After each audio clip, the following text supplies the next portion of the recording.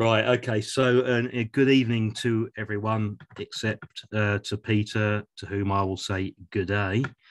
Um, so, yeah, this is um, my mash hopping adventures. Um, this wasn't originally planned to be a talk; it was just me messing around, and then I suddenly thought, "Hang on, we haven't got had many talks of of well things like this, so I'll try and turn it into something." Um, so here we go. Um, yeah, so mash hopping. Oh, is it going to work? Oh, it's not working. Oh, no, there we go. Introduction. Introduction. Uh, so what we're going to cover is a little bit about hops. Not very much because I think we've all been there and done that with with regards to hops. Uh, a little bit about mash hopping. A little bit about um, what I've discovered on the internet about mash hopping. Um, and then we'll go into um, my experiment and um, talk about what we found out at the end. Um, I take it you can all still hear me. Thumbs up, nodding. Yes. Yeah. Great. Yes. So, hops, an incredibly generalized overview. Okay, so there can't be many home brewers who don't know the purposes of hops in brewing. We use them for bittering, aroma and flavor, and they, of course, have um, their antiseptic uh, characteristics as well. And whilst we know the purposes of hops in brewing, we should also know when the hops go in the beer. So we have hops at the start of the boil, mainly for bittering. We have towards the end of the boil uh, for flavor and aroma, um, but you do get a little bit of bittering. Uh, flame out and that is mainly for aroma and flavor. And again, you'll get a little bit of bittering from that.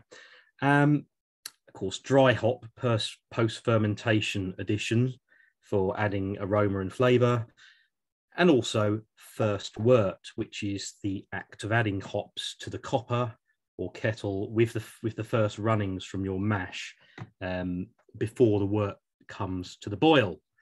Um, a lot of people say about first wort hops that it can lead to a smoother bitterness and that it also contributes a hop flavor similar to that contributed by flame out hops. But what about hops in the mash? Hops in the mash. Or maybe the sparge water. Why not? There's nothing to stop you putting hops really where you want in the beer you just got to know what's going to happen when you do, right? Okay, so I first um, read about mash hopping in, in Randy Mosher's Radical Brewing about 10 years ago. It wasn't exactly instructive, um, but I had a go at doing it anyway. Um, I had no idea how much to use, so I just went for a small amount uh, because hops were expensive. They certainly were for me back then. Um, and there was no real way of telling what effect it had, if any. It certainly didn't seem to have a bad effect, but you couldn't tell really at all. Um, so why why have I decided to to do it again now? Um, well, one of the reasons, um, as we sort of mentioned earlier, is that I have a ridiculous amount of homegrown hops to use up, and I I can't use them up. I've I've got hops from four years ago in my parents' freezer. I have so many of them, and I started thinking, what am I going to do with all these hops? And then I suddenly thought, hang on a minute, I could stick them all in the mash. um, so yeah, they they are for all intents and purposes free, except for my own labour. Um, and the second reason is that I acquired one of these Pico Brew um, machines, which um, give quite close control for making small batches of beer. So I thought that, that that's idea ideal for um, experimenting, changing one ingredient at a time, and uh, not messing up an entire twenty liter batch.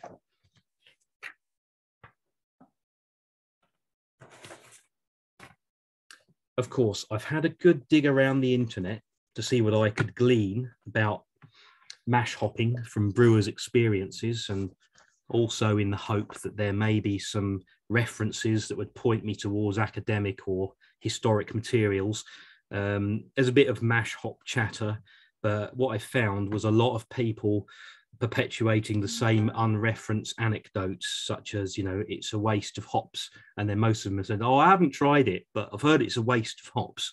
Um, so obviously you, you believe believe that and, you, you know, might as well just know, call it a day, really. Um, there, there is, uh, there was one article that I sort of found that a few other people were referring to.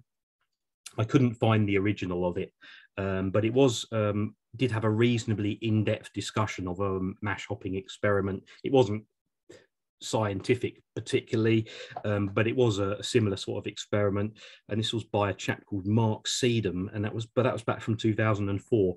And he, I've tried to research something on him, but he doesn't really come up other than he's somebody that wrote brewing articles for brewing techniques and Zymurgy like back in them days, um, but doesn't appear um, recently. Um, but essentially, it's quite hard to find, you know, hard scientific or historical um, evidence, certainly on the internet. Um, and then, of course, I did have a look at Brülosophy. Even they haven't done an experiment on it. Um, so I thought, well, how am I going to how am I going to find out if there is actually any real history to this. Um, I thought I'd better approach one of our sort of eminent beer historians. Um, so I got in contact with um, Mr. Ron Pattinson. Now I thought if anybody was going to know anything about um, historical mash hopping recipes, um, he was going to know something. Um, so during during the course of my um, internet research, I did see a few mentions of Berliner Weisse um, and mash hopping. So yeah, I thought right, I'll ask Ron, see if he and he and he got back to me. Um, he said that he couldn't remember having ever seen um, mash hopping being used in in British recipes, but he did know about um, mash hopping in Berliner Weisse. Um, but as you would expect, um, Berliner Weisse mash hopping was not to extract the flavour from the hops. As we know, Berliner Weisse is not really a sort of hop flavour heavy beer, is it?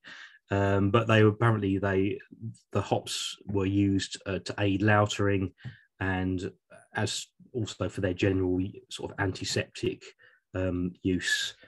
Um, so what did we find out? Um, not to go give you full descriptions of um, of everything like to do with Berliner Weisse, but I, I, I've sort of got some examples from from Ron and sort of translated them into something which I will um, attempt to um, read to you. Now there are three three different methods of mash hopping here from this book called Die Fabrikation Obergäriger Bier und Praxis und Theory by Braumaster Granell in 1907. Okay. Um, sorry about the German. Um, but essentially, um, what I could glean from what Ron sent me, that there's about four, four methods here. Um, so, method one is if I can actually move you all so I can read this off the screen, uh, is to boil boil the hop charge with the strike water for five minutes before mashing in. Mash at 35C. Method two was quite difficult to reinterpret. It was a very, very long description, and I had to read it quite a few times to try and figure out what it was actually saying. But apparently, there's mashing in the kettle, um, once the bottom of the kettle is covered, add the hop charge, mash for one hour at 30, then raise to 65 before draining half the mash into the mash tun. So you mash in the kettle, then you put it in the mash tun. Right. Uh, then you slowly boil what's left in the kettle for half an hour at 60 before mashing out 77. And then you presume that the two worts are combined afterwards. Now I'll have to move you all again up there. Um, Method three, mash in the pan. Again, I presumed it was in the kettle. This is just the translations that I, I was dealing with. Uh, 35 to 37 for half an hour. Slowly heat to 52, then add the hop charge. Rest for 30 minutes, then heat to 77. So we got three different ways there that you could potentially um, put the hops in the mash. Um, I only tried one way, but we'll get to that um, later on. Um, and method four.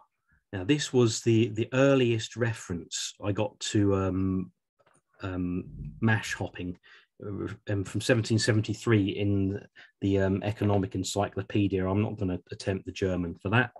Um, these hops he infuses in warm water and then pours into the kettle and lets them boil with the mash. While the thin mash is boiling, the brewer empties the thick mash with the schuppen, which is a kind of large copper bucket, apparently, into the zapfbottich, uh, a tapping tub.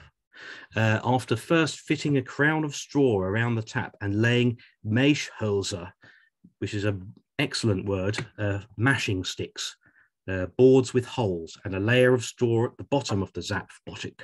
Uh, when the thin mash has been properly boiled in the kettle, it is added to the thick mash. The boiled mash is poured through a hop basket of giant braids fixed to two poles, which lies resting on its poles on the zapfbottich and is lined with straw, which retains all the hops in the basket. The thick and thin mashes now stand mixed together for three hours in the zapfbottich. During this time, all the strength is extracted from the malt. Uh, now, one of the things that I noticed from from these references is that they all tended to talk about boiling, um, but it seems fairly clear that no boiling was actually involved here. Um, it just seems to be a, a, a generic um, term they've used for uh, warming the water, warming the mash. Um, so there you go. There's there's there's the the historical uh, precedent for, for for for mash hopping, but probably not in the way that um, I intended to investigate. Um, so on onto onto um, my little experiment. Now, when I decided to try uh, mash hopping, I wasn't thinking about Berliner Weisse because I didn't know about any of that stuff up there that we just um, looked at. Um, but I wanted to know whether hopping the mash would add another layer of flavor to the beer. I was pretty sure it could, but in order to find out, I would have to brew a beer which only featured hops in the mash. That's how it started.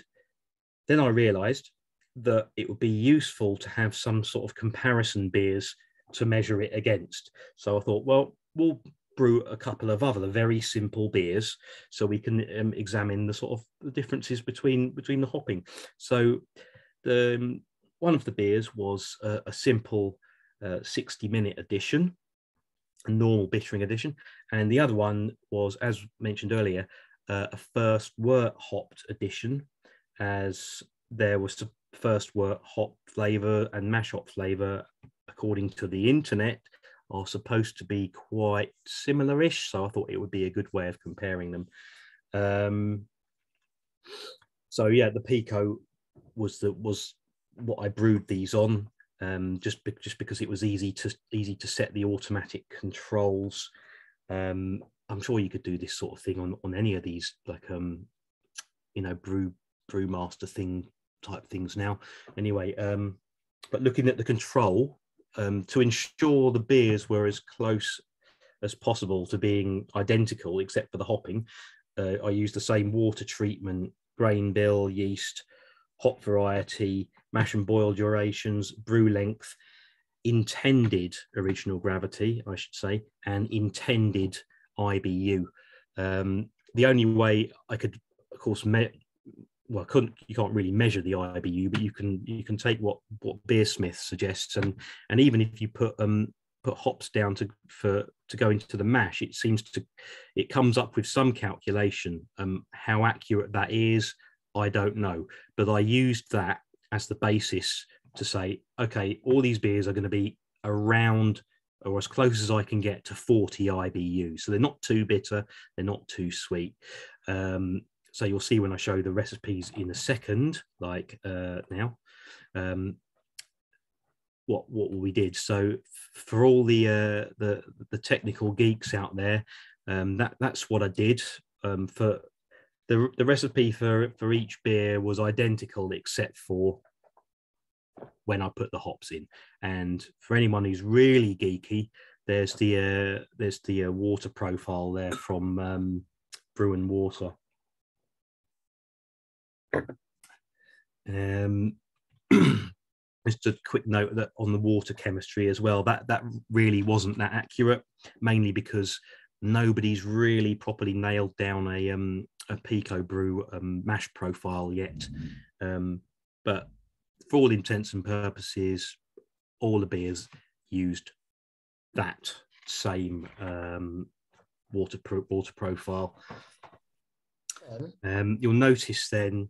Sorry, Ken. Ken, can I ask you? It, did you really have 340 ppm of sulfate in that beer? Um, yes, I, I attempted to um to get that. Yeah, yeah. Okay.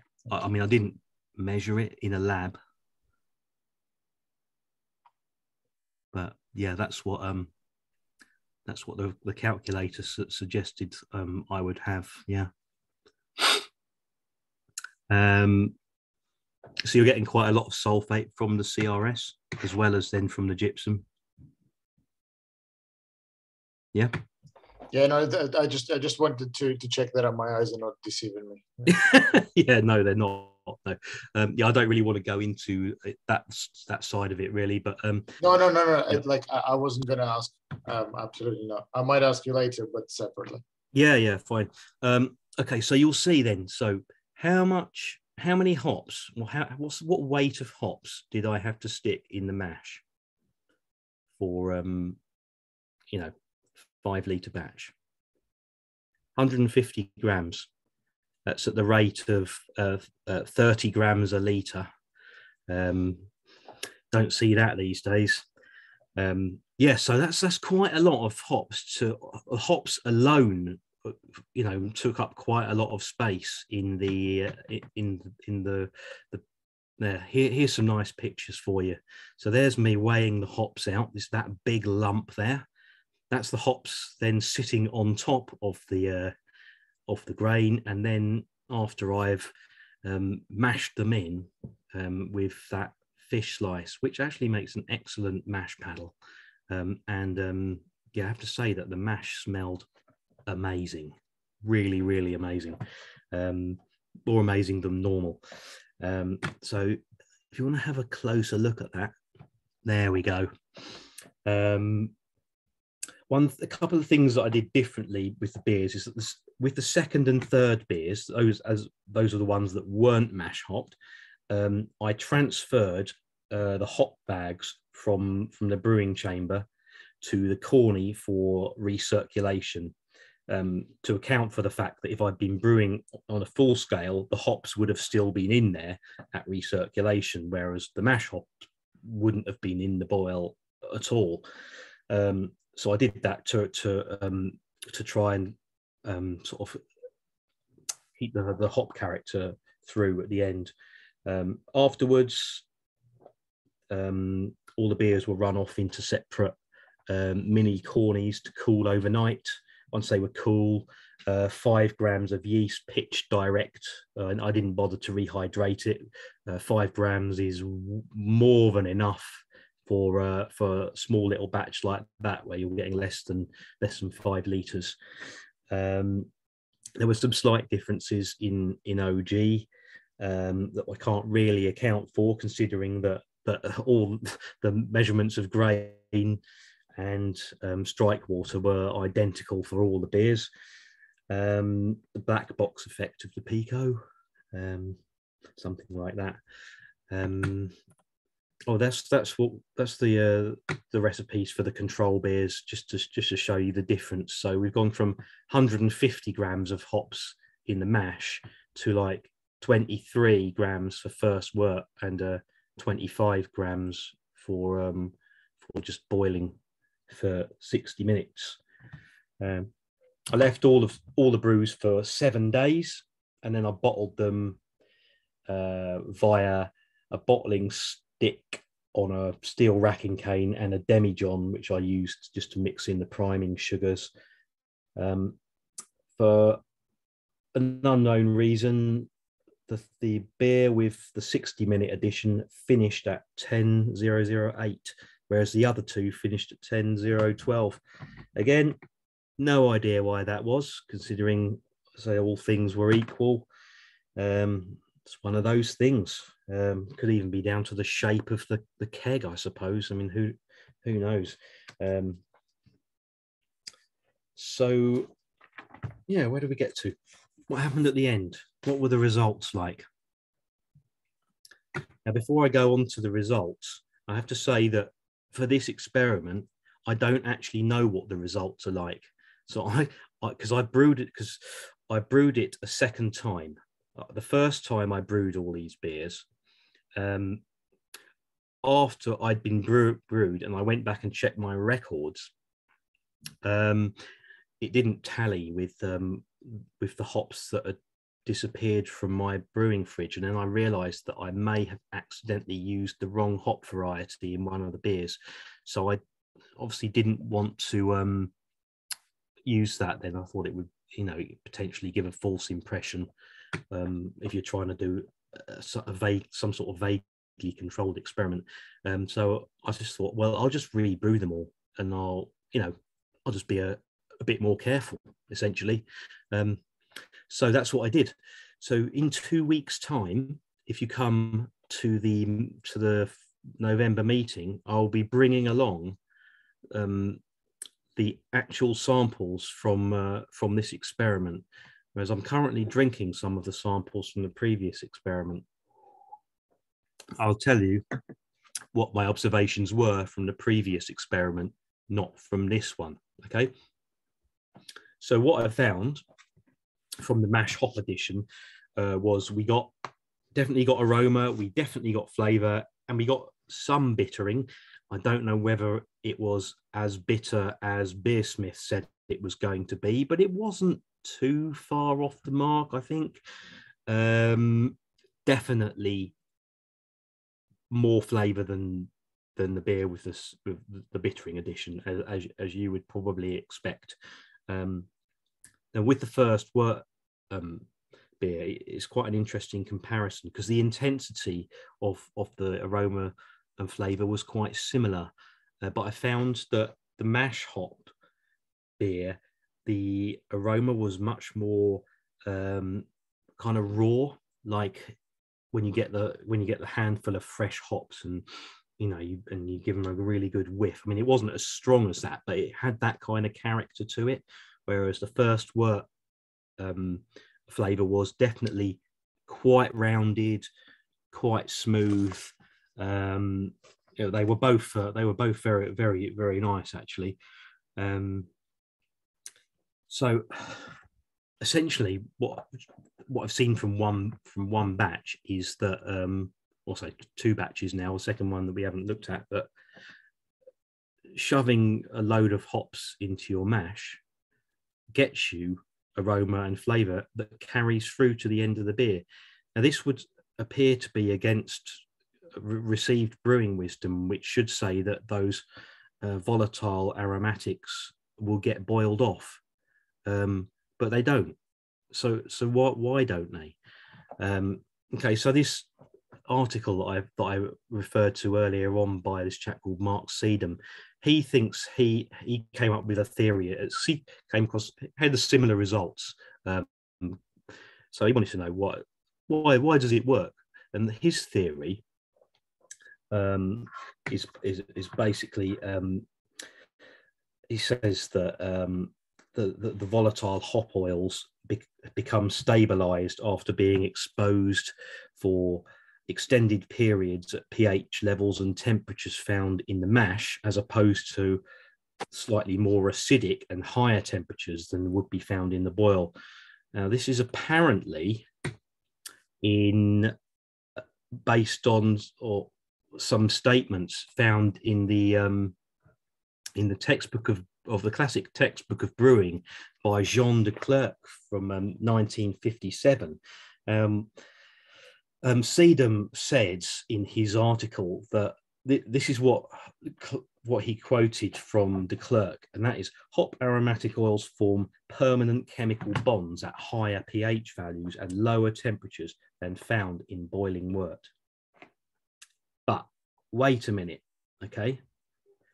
Because I have a copy of this book because of uh, the bequeathal from um, the late Aunt Hayes's wife, um, So I thought I'd get the book out and try and find what he's talking about because it would be good to have the actual reference because I was unable to get hold of the original article. I had no reference to any page numbers or anything other than it said Jean de Clercq, 1957. Right. So I thought, well, I've got to find it in there, really, haven't I? So I got the books out, started looking through them, read a, read a few chapters on hops, read a few chapters on on boiling, um, and I you know I couldn't find that quote in there anywhere. I couldn't find anything that resembled um, what um, Sedum has quoted. So I don't know whether it's because he was sort of reading between the lines, um, and I sort of attempted to do that, and I really still couldn't even really infer infer that from what I read. Um, so uh, maybe it's just me, and I've somehow managed to miss it. Although I did read those chapters now several times to make sure I understood every word. Um, maybe it's in another part of the book. I don't know. Anyway, as I say, I've got no page reference, so I can't I can't properly track it down. Um, so it does look like potentially um, it's I don't know, not true, possibly. But there's also the fact that we still have to to look back on, say, well, it does actually work, and there's got to be a reason for that. Um, and if it is something like this, it, it, would sort of stand to reason. It would make it would make sense. I mean, I, I would buy it, um, but you know, maybe I'm a I'm a, a simpleton. But I guess uh, it does does show that it, that it that it pays to try and go back to original sources sometimes. Um, anyway, so going away from that, at the end of it all, what do we know? We, we know that it works. Um, it was okay. It was a very small sample size, and I'd be really interested to see some results from much larger experimentation. Um, but one of the good things it's done now is it's given me um, an idea of exactly the, the, the type and character of aroma and flavor that I would get from mash hopping. So I know what to look out for when I'm when I'm tasting future beers that I that I experiment with. Um, so I think the next thing to do is probably, um, you know, sort of you don't I don't really want to do another mash where I put 150 grams in in in that small box because I mean that was really only so that I didn't have to put any hops in another part of the brew. So now I think what we'll do is move some of the bittering hops back to the boil. And then once you've done that so you can get more of a sort of a definite bittering. You can then play around a bit more with layering um, maybe put the hops in the sparge water maybe heat them up first. There's lots of possibilities there i think. Um, and i did i had some thoughts about um, potentially using this method on a on a NEIPA to get some um, some extra flavor in there um, because you wouldn't get the bitterness, you'd get all the softness of the of the um, the aromatic oils. Um, and I've never even made a NEIPA anyway, so I might not know what I'm talking about. Um, but okay, at the end of that, pretty much sums up the presentation. So all we can say is if you got a big bucket load of hops and you didn't know what to do with them, you do now. Ends. Awesome, mate. Looking forward to the November. Very good. Thank you. Good. Thank you.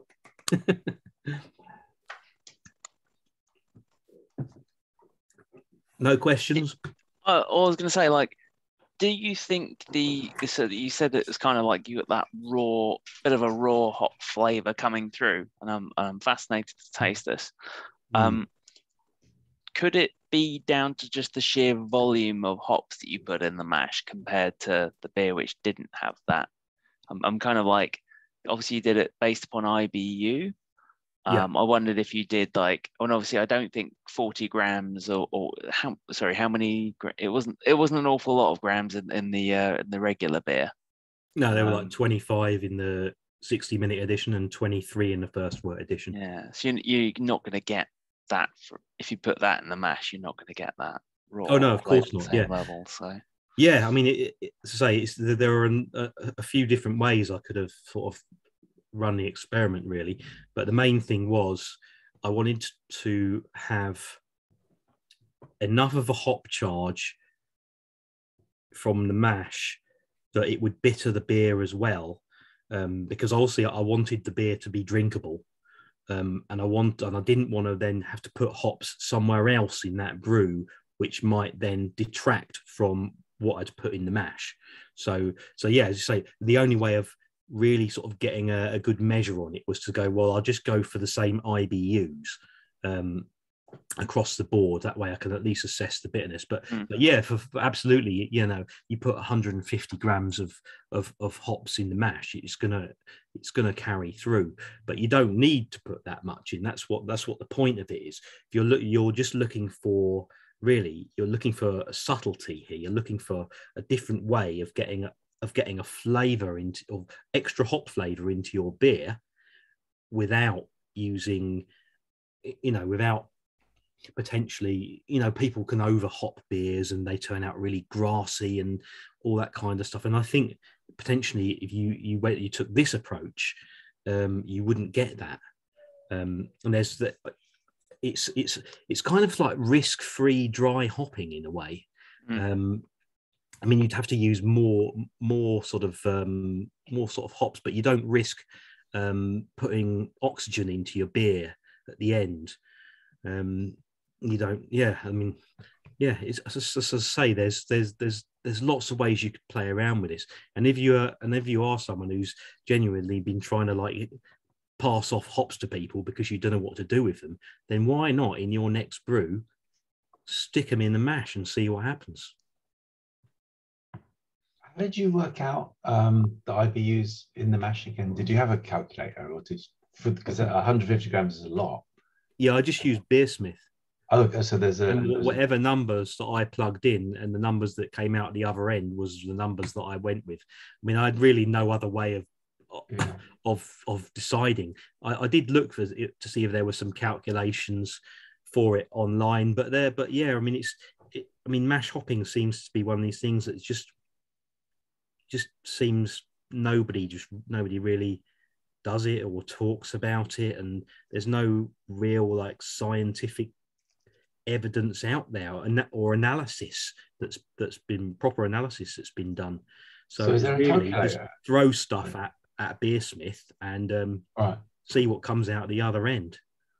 And as, as, I say, it seemed to it seemed to be roughly okay. I'd say it probably isn't as quite as bitter as um, Beersmith has calculated it. It might be off by five, six IBU, but it's definitely mm-hmm. um, it definitely isn't a, a, sweet beer to drink. I haven't seen it. Is there a mash hopping setting in Beersmith? Yes. Oh, I see. Right. Okay. Yeah. Well, you know, when you go to put the hops in, you can just put select mash. Right. Okay. I've just checked it now. It's in there. Yeah. Yeah. Yeah. I, have done it with the Beersmith one, and it like I can't measure it, but it, it tasted about right. Mm. What it came out with seemed accurate enough. So you've tried it, have you, Rob? Yeah. I, when okay. I was making a raw ale, so like with no boiling, and I thought, well, get some hops in there, like anyway, and yeah, it, it, you you you did get at least the sensation of bitterness out of it. Mm. So it surprisingly.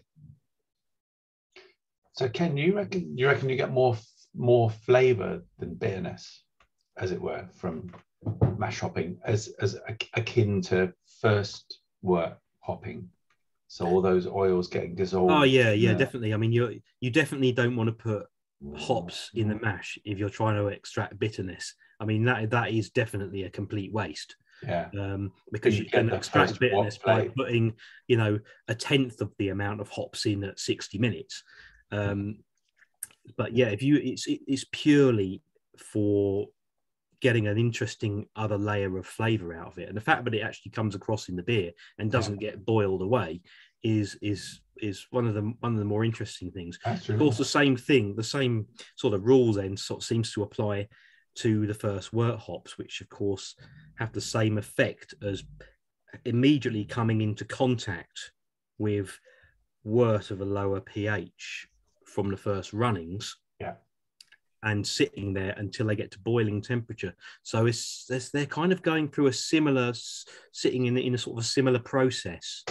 And then of course they stay in the boil, yeah. um, so, that- that- so some of their flavors get rounded off. So you're taking the hops out think- before the boil. I, I would think there's a continuum there because you've got the the mash is at let's say at the end of the mash it's around 70 77 um, and if you uh, first wort hop and you put it in at 70 77 Mm. it's the same thing so Yeah. I, Yeah. I I would just see that as just being a little bit earlier in the process Exactly, exactly. You've by doing it in the mash, you've subjected it to that process for an extra hour.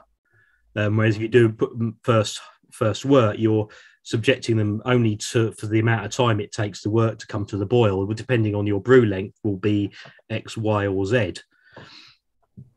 So are you taking the hops?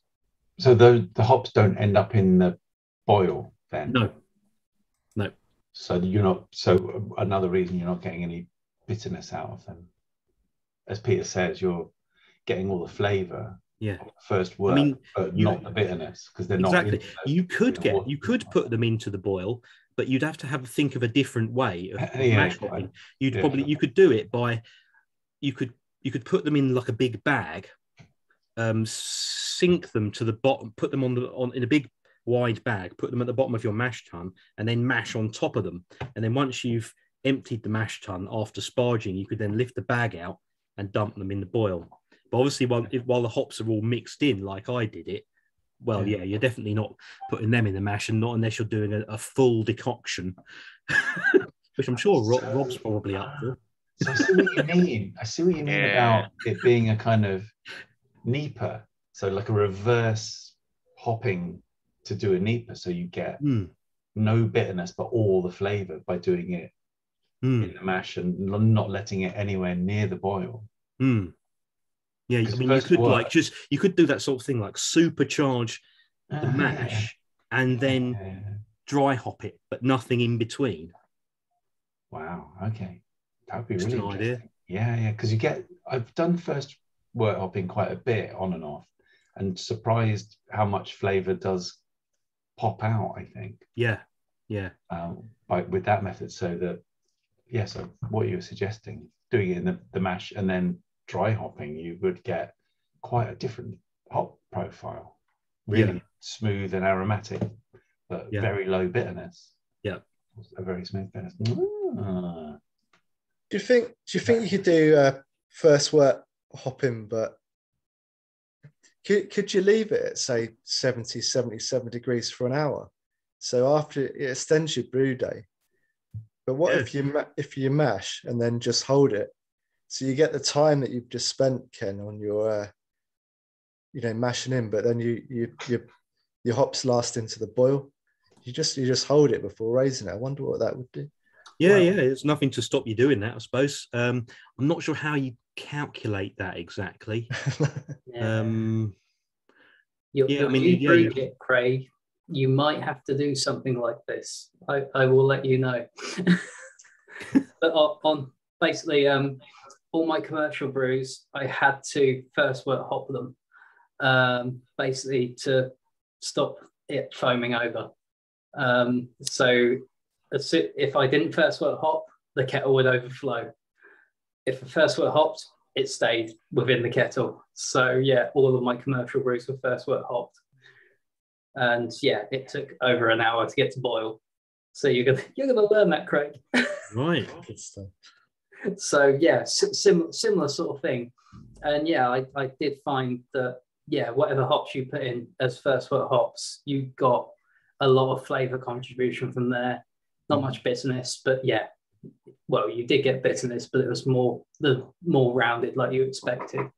Um, I never did any, any experiments the other way round without doing it, um, just for pure commercial reasons. As I didn't want to waste any of the beer going over the end of the kettle.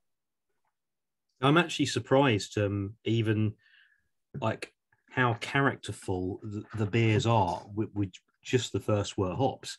Yeah, mean, these I love these- first wort hopping. These easily pass without sticking any more hops in as a as a very good quality, like um, English pale ale. Like Yeah. the hops really, really come out of it, and was quite surprised.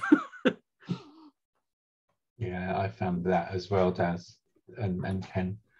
That I've um, I've done that with lagers, I think, and done a first wort hop and then a bittering charge and then an aroma thing at the end, and and and thought I've massively overhopped it somehow, and I've put it down to the first wort hops Mm. because I was in. I ended up putting like a third, um, like you do, like a third of it in the first wort hops for that for as you say peter that like that half an hour where it's where, it, where it's reaching the boil.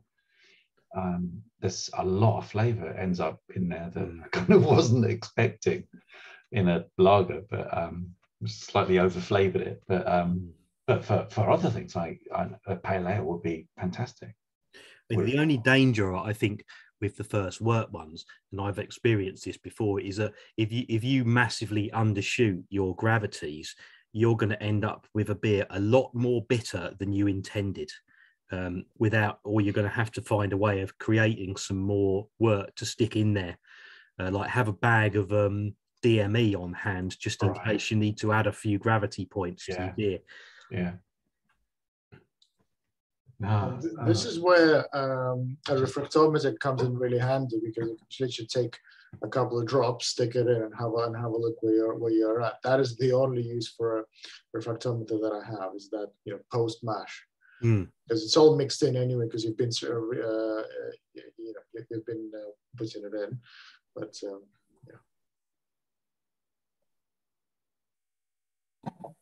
I'm thinking Ken. this. Sorry, After you. I- I was saying i think in this technique probably only works for whole hops. No, well, I I mean, No? I, I only used whole hops, but apparently, I mean, this guy who wrote this article, um, I can send it on to anybody if they if they if they're interested. Um, he he said that he had made like done it over ten times, and um, he he found that pellets worked better. Um, I mean, they would certainly work better. I should imagine if I'm using the Pico because it was a bit of a squeeze getting 150 grams of hops into that small box. Um, but I guess because yes, similarly as people say for dry hop, um, that you know um, pellets work better because there's, there's, more surface area exposed, isn't it? Um, Yeah. I- it's, it's definitely Peter- something I'm gonna I'm gonna try. Yeah. Peter linked to a um, uh, beer and brewing article um, that basically said, yeah, if you use pellets, it works much the same way, but you can get a bit more bitterness from powder carryover. Ah, right. Um, yeah. But yeah, and that's from Matt Brynildson, the Firestone Walker guy. Yeah, So yeah, I read that article actually. Yeah, yeah. My question, sorry, hi Ken. I'm one of the Yeah. new guys. I am. I'm more interested in your hop variety because I'm also from Croydon. Oh, yeah. Can you yeah. tell tell, tell tell me that tell me that that's an overgrown jungle somewhere that I can go and pick hops, please? Or is that is do, can you buy them from the malt miller? Um, no, that's my homegrown. Oh,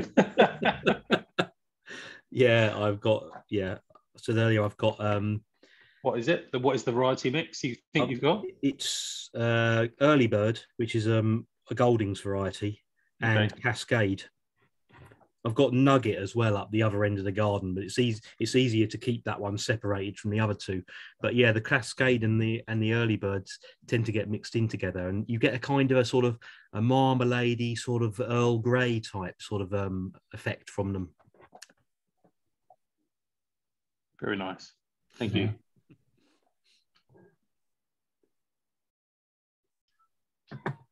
a breakfast beer Yes. oh, I could put some toast in there, maybe. look at that look at that Mm. Someone's already done that. Yeah, we, we had them come and talk, didn't we? Yeah, we did. Slightly salty beer. It was Yeah. nice.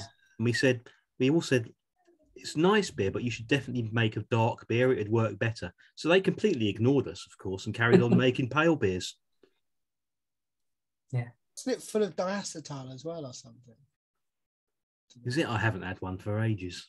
I, I no, it's got a lot better. The stuff in the shop Mm. is all right, but the one they brought, if I remember, there was some fault and they were like, "Oh, and that's bad, is it?" Like, You're well, right. Yeah, whoever you're brews right, it yeah. you and tell them it's full of diacetyl and see what they say. Mm.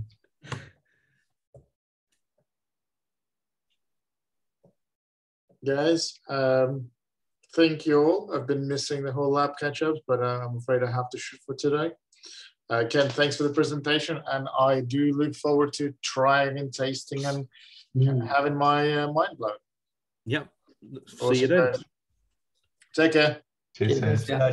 Right. yeah, thank you very much, Ken. That was awesome. Yeah, it was And awesome. I'm, I'm looking forward to the first. My pleasure.